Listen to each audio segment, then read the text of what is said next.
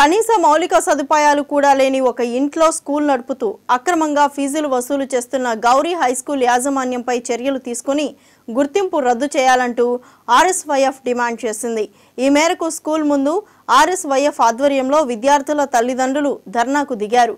విషయం తెలుసుకున్న ఎంఈఓ వచ్చి వివరాలను అడిగి తెలుసుకున్నారు.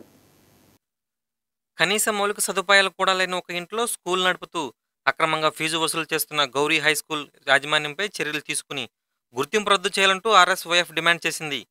పిల్లల తల్లిదండ్రుల నుంచి ప్రతి ఏటా అడ్మిషన్ల రూపంలో నాలుగు వేల నుంచి ఐదు వేల రూపాయలు వసూలు చేస్తున్న గౌరీ హై స్కూల్ వద్ద ఆర్ఎస్వైఎఫ్ ఆధ్వర్యంలో ధర్నా నిర్వహించారు.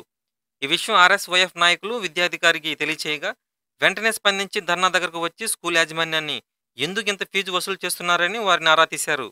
అదే సమయంలో అక్కడ ఉన్న విద్యార్థుల తల్లిదండ్రులు విద్యాధికారికి సమస్యలు ఏకరువు పెట్టారు స్కూల్లో మూత్రశాలలు లేవని విరామ సమయంలో మూత్రశాలలు లేకపోవడంతో ఆరు బయట మురికి కాలువల వెంట మూత్ర విసర్జన చేస్తున్నారని తెలిపారు.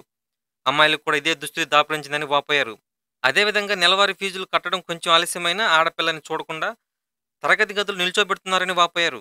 ఇంకో విద్యార్థి తల్లి మాట్లాడుతూ పోయిన సంవత్సరం అడ్మిషన్ ఫీజు కోసం నల్ల పూసల దండ తాకట్టు పెట్టి కట్టానని ఈ ఏడాది అడ్మిషన్ ఫీజు వెయ్యి రూపాయలు పెంచారని ఇలా పెంచుకుంటూ పోతే మాలాంటి పేదవారు ఎలా కట్టగలమని ఆవేదన వ్యక్తం చేశారు.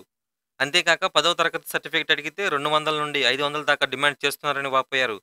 అదేవిధంగా పిల్లల చదువు గురించి తెలుసుకోవడానికి స్కూల్ దగ్గరికి వస్తే అసభ్యకరంగా మాట్లాడే ఆఫీస్ సిబ్బంది ఇక్కడ ఉన్నారని మండల విద్యాశాఖ అధికారికి వెల్లడించారు.